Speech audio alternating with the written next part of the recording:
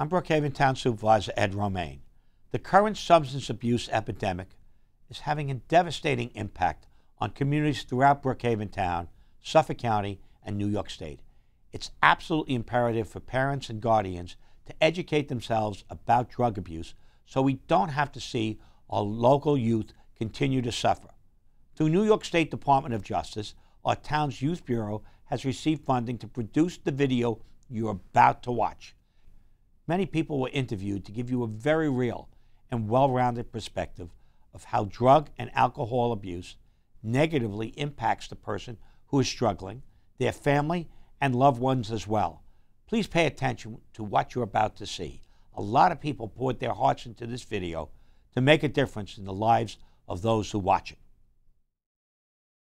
Some say that you're not even there. Some say you are, but you don't care. I'm wandering just like a little child.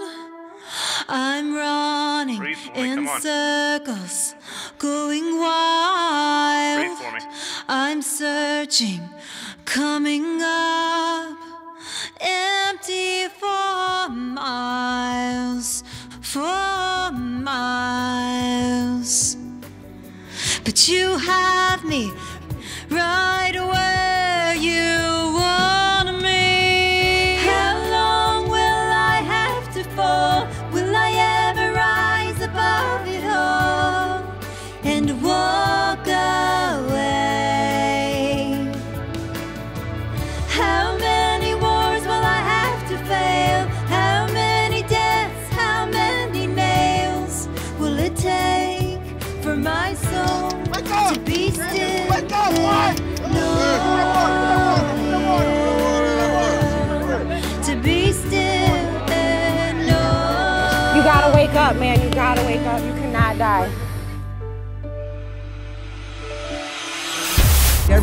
minutes, someone dies of an accidental prescription drug overdose.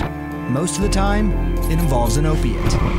While heroin deaths continue to spike on Long Island, there's more awareness of the problem than ever before, but officials say it's only getting worse. The county medical examiner says he's never seen anything like this. He's calling it a public health crisis. A dangerous new substance is hitting the United States illegal drug market, and it is a drug that is so dangerous that both the users and the responders are put at risk by simply touching the drug. Agents charged the men were churning out hundreds of pills laced with fentanyl, considered up to 100 times stronger than morphine and lethal just by touching it. Drug addiction is killing hundreds of Long Islanders every year, and the victims are getting younger. The president declaring war on the opioid epidemic. And I'm saying officially right now, it is an emergency. It originates in Mexico. They take it right out to places in Long Island, circulate in the neighborhoods. It's killing a lot of people. Heroin's one of the most dangerous drugs there is.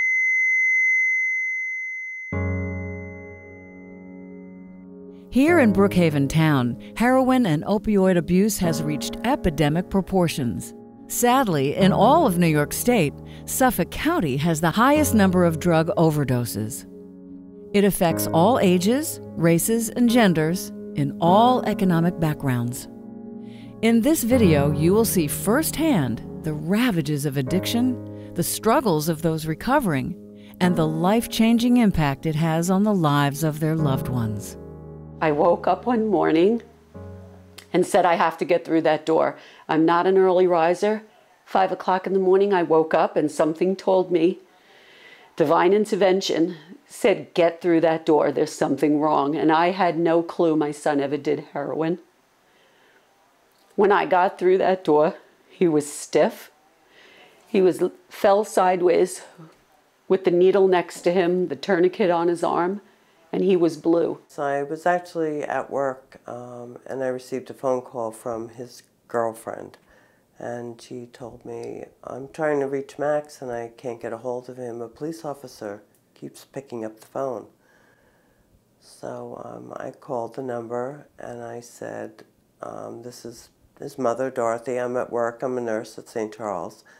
Um, is he dead? Just tell me, is he dead? I'm in a safe place. Please just tell me. And they said yes. So I hung up the phone. I got in my car. And I remember screaming. And I couldn't stop. We picked the lock and got into the bathroom, and that's when we found the shower running. And my brother slumped over the bathtub, was already blue and gray at that time. The day before my birthday, I got the phone call that he was dead. He had, I guess, taken either too much Xanax or was withdrawing from Xanax and Roxy's, which is horrible and painful. And he hanged himself from his basketball hoop in his driveway, and his little brother found him. And this was a person that I loved so much. In 2016, there were 52,000 Americans who lost their life to prescription and opioid overdose. 52,000. That's a rate we've never before seen. Here we are in the middle of a full scale, full blown epidemic in which we're losing countless numbers of young people. We see about a thousand people a month. Not some, not most, but every single one of them started with alcohol and marijuana. It seems to always start uh, at the early age of 12, 13, 14. That is the age of experimental use, according to the National Institute of Drug Abuse, and it's one of three gateway drugs. The first, alcohol. The second is a very potent form of marijuana. This is not the marijuana of the 60s, 70s, 80s, or 90s. And the last one is nicotine. But those three gateway drugs are quickly leading to the most powerful narcotics on the face of the planet, which has been a, a, a huge contributing factor, quite frankly, the current state of the epidemic. The reason why heroin specifically is such an addictive substance is, as people describe it, it's the greatest feeling that they ever had. So if you take somebody who has a family history of addiction and a propensity of their own to possibly become an addict, once you put that opioid into their system, they're going to know it. So take two examples. Take two people that go to the dentist. You have both of them are 21 years old, they're getting their wisdom teeth pulled out. Person A gets a prescription for Percocet, numbs his pain, makes him really nauseous, gets repulsed by it, throws the rest of the script away. Patient B takes that Percocet, the lights go on, the feeling is unbelievable, and the doors are opened. And then they go back to the dentist, possibly get more prescription, but at some point that prescription gets cut off or that prescription is no longer giving them that high that they like. And the next step oftentimes is stronger pills, sniffing the pills, and then going to heroin. Understanding this deadly enemy is the first step in understanding how to combat it. But most of us think addiction like this could never happen to us or our families. That only happens to other people. I want parents to think about all of these school events that they went to from kindergarten, first grade, second grade, ninth grade, 10th grade, and think about all those sweet kids that were singing songs in the chorus or playing football or playing basketball. Those kids are the kids who are using drugs. And their parents, just like you, thought my kid would never use drugs. I would say that all kids are inherently good. I think um, this isn't an issue of good and bad. People who use drugs or are dependent on drug use are not bad people who are trying to get good. Oftentimes they are sick people that were trying to get well. That's a huge distinction. The image we have of a heroin user is not the reality that we're seeing today. When most people think heroin user, they think about a homeless guy kind of wandering around the Lower East Side with a needle in his arm. They don't think about the perky cheerleader from Sachem, from Rocky Point, from Sound Beach. I had experimented and tried pain medication, Xanax, and I would take it just here and there. And then that here and there turned into every day. It didn't take that much for me to be a disaster and for me to be a problem for myself or my family. I was addicted to roxycodone, I believe is the like official name for it. We always just called it Roxy's, but it's opioids. Um, 30 milligram opioids. They're like, yeah, they're just little pills, and I would snort them. My drug of choice initially was cocaine, and then at 18 years old, I became a full blown heroin addict. Um, started ingesting it uh, through my nose initially, and within about 10 days, I became an IV heroin addict. And that was something that I battled for the next 10 years. He had come home one night from uh, a party, and he walked in. He said, Ma, I need to talk to you. And I said, What's the matter, Max? He said, I was at a party and some girl stuck a needle in my arm.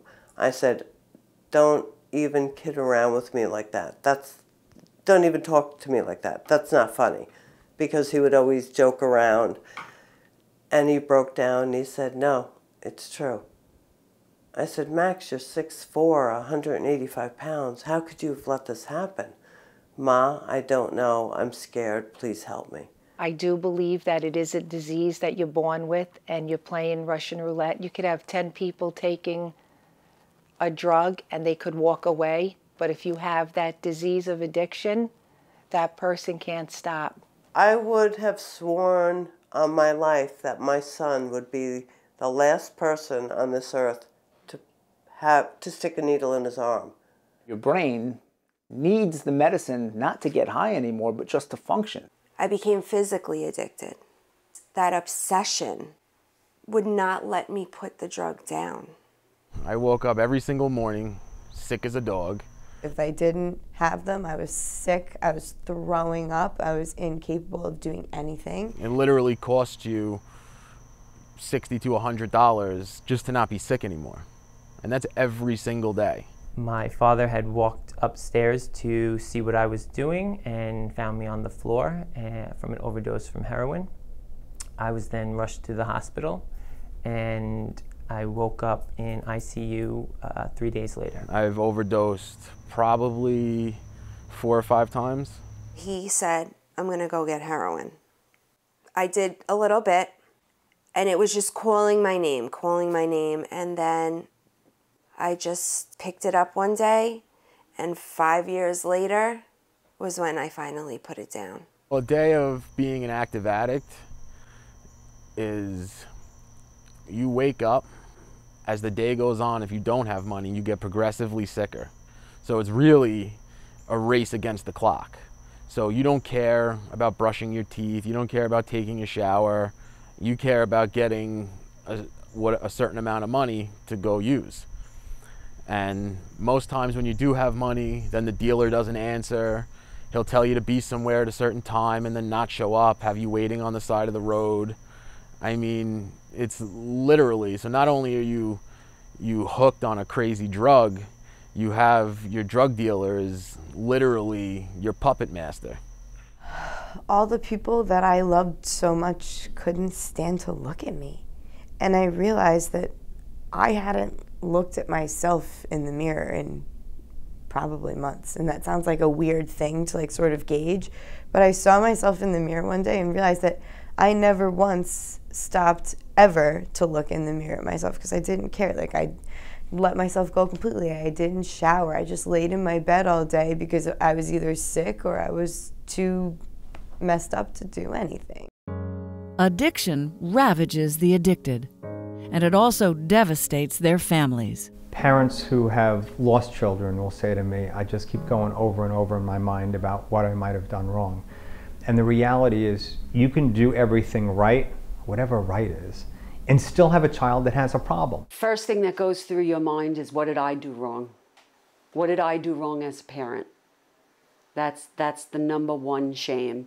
And the shame of what is everybody going to think? Being a sibling of an addict is not easy. It's very, very hard. Um, because it's not that you don't love the person, you are mad at them. The 13 years that my son Anthony suffered with this disease, so did I. And I wouldn't want it any other way. An addict is a hurt person. I was screaming at a person that was already down in the dirt. I was kicking a dog when he was down. He called heroin the devil.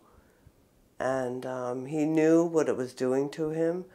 Uh, he wrote so many letters to myself and my husband apologizing. One of the, the hardest parts about, you know, looking back on my experiences is thinking about the pain that I put my parents through. Um, and, and coming to terms with the fact that I was doing all of the things that I was doing, and at that time I had um, no regard for how they were feeling or how it was impacting the family. The heroin made him the per- a different person, and he was aware of that. There's a behavior change that's so horrible that turns them into someone that they're not. Men stealing from stores, you know, this disease makes me do things that I never ever imagined, ever. You will scratch, claw, and kill to get your next fix. It's not even a choice. It's not, I don't even believe you're making a choice. It's not an option. You have to get it. I watched my son firsthand. He detoxed right in my home. And it was God awful to see your child in that much pain. When you're that sick, I mean, I can't even describe to you what dope sickness feels like. It is like the flu on a massive cycle of steroids. It is the worst thing you could ever go through. If the parents think that they're struggling now while their child is using, they have no idea how horrible it is to lose them. Although this crisis has been in the news a lot lately, most of us are still not sure what a parent should look for in their child. Pinpointing the warning signs is challenging because a lot of the same warning signs that you would associate with addiction are things that are endemic to adolescence. There is no coincidence that the reason experimental substance use happens at the most precarious time in human development, adolescence. When young people are pulling away from mom and dad and they're trying to develop new character and personality traits, they're experimenting with um, uh, new dialogue, new personas, new friend groups, uh, new digital and technological capabilities. This is a very difficult time for adolescents. I think there's a whole generation of young people up, uh, coming up who put so much pressure on themselves to succeed and in full view on their social media sites that we all suffer from a sense of inadequacy or low self esteem at times of our lives. It's important to be able to work through mad, glad, scared, and sad. Mad, anger, sadness, melancholy, or depressed mood. Uh, mood, scared, which stands for fear, forget everything and run. And here's glad, or happiness, or contentment. If you assign a pill or a powder or a drink or a potion to every one of these emotions at a very young age, you will begin a behavioral pattern that you'll take into later adolescence and into adulthood and can very much be the seedlings of a very serious illness called drug addiction. I think that kids have more pressure on them than ever with the use of social media through Instagram and Facebook. You know, how many likes can I get? How popular am I? Everything is judged off of that. So again, a kid that's uh, insecure, lonely, has low self-esteem, one crowd of people that will always accept somebody new no matter what they look like, what their parents do for a living, or how they feel is other addicts and a drug dealer. They will pull them in openly. And so when you think about the things that we professionals put out as warning signs, it's changes in mood, changing in sleeping habits, changes in friends, moodiness, changes in financial status. Those are all things that kids routinely experience anyway. Uh, initially, you know, the, the, epidemic was blamed on the doctors and OxyContin. Okay, so OxyContin has been gone from the picture for a very long time, and heroin is still on the rise. I think it's a total breakdown in family structure. Families need to eat dinner together every night. Otherwise, you're not engaged in your child's life. I think that families, whatever religion they, they practice, they should be going to church together on Sundays or going to temple or whatever it is that they do. I think that families need to get back to spending time together. That way, if a problem does exist, you can catch it early. The other really important piece of advice for parents is trust your gut. Parents will say, you know what, I thought maybe something was happening. I wasn't sure. I didn't want to bring it up. I didn't know how to have the conversation. I didn't want to sound accusatory. In, in the midst of a crisis, it's all hands on deck and anything goes. If there's a basis to have a conversation, have the conversation now. We tell parents all the time, and I'm the first one to say it. When I was 14 years old, last thing I wanted to do was my mom going through my room or taking my phone and going through my phone.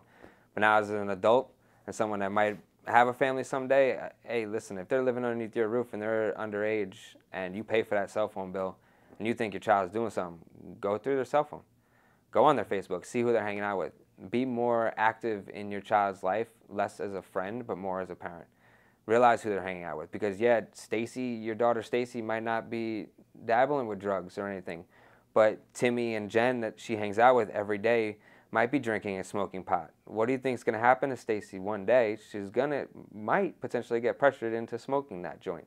I think now we have to be the generation that's the change. We can't be scared of this because there's too many people losing lives. I'm doing this from my heart because I don't want to see another mother, father, sister, brother go through the pain that I've gone through and that I have to live with for the rest of my life. It was my only child. I wanted to send a message not only to our community, but to parents throughout Suffolk County. Um, I planted the tree as a symbol of growth and awareness. And as the tree grows, I pray that awareness grows.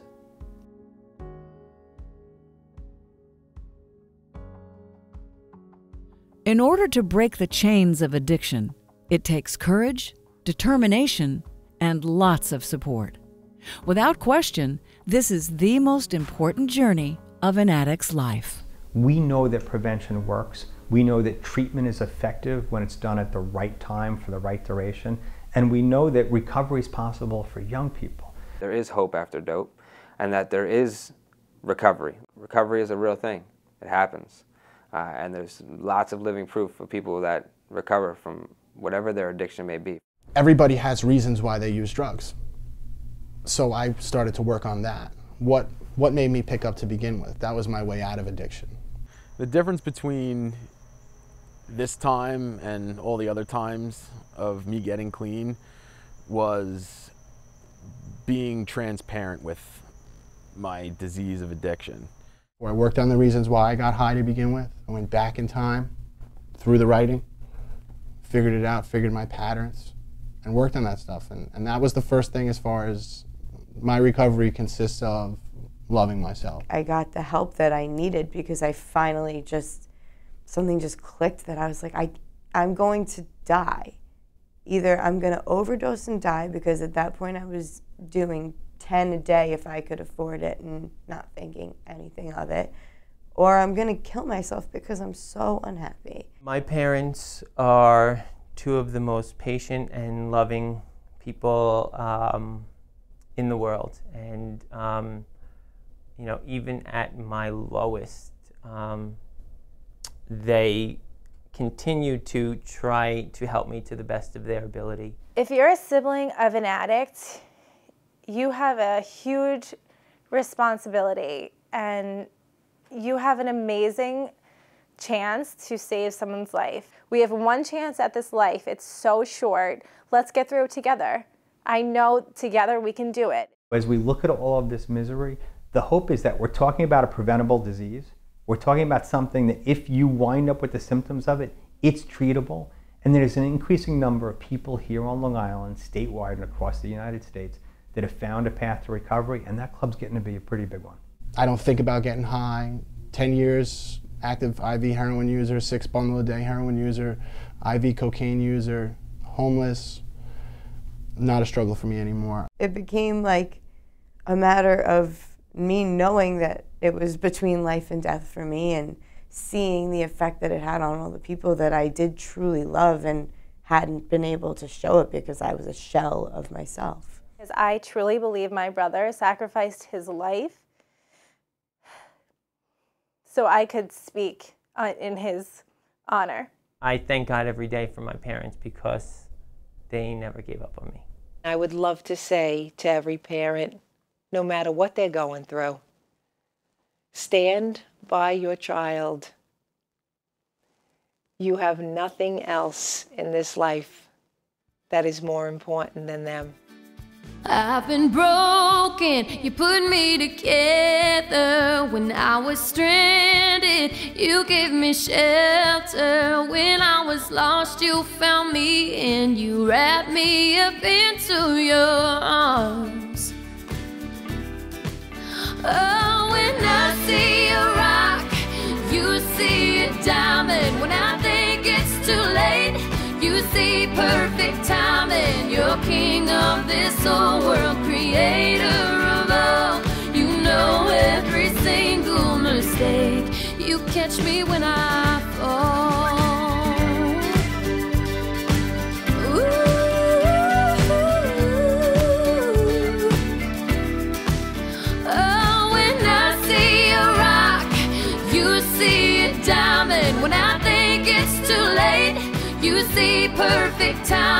You're king of this whole world, creator of all. You know every single mistake. You catch me when I fall.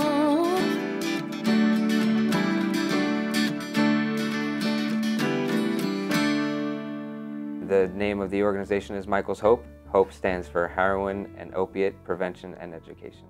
We do uh, free Narcan trainings to the communities on Long Island, as well as uh, educational seminars. Narcan is, is the opiate reversal, and we provide uh, trainings to properly administer Narcan to individuals that might be in need. I took it on as my responsibility that if it's my generation dying, then I need to be the one to do what I have to do to save my generation. I'm one of the owners of Long Island Helps Recovery Initiation. Spending the majority of my adolescent and 20s in treatment centers, I've come into contact with thousands of addicts. Addicts and their family members develop resources here in Long Island for those struggling with addiction or alcoholism. We also speak in schools, um, host Narcan trainings and community meetings every week, as well as do interventions. I know that I had to do something. And as hard as it is, you know, people would ask me, why are you doing this? I said, because I have to. If it can happen to my son, I have to let other people know that it can happen to them. If you know anyone who is struggling with substance abuse or addiction, please call the Town of Brookhaven's Youth Bureau at 631 451 8011. A member of our staff will provide excellent information, resources, and referrals. Thank you.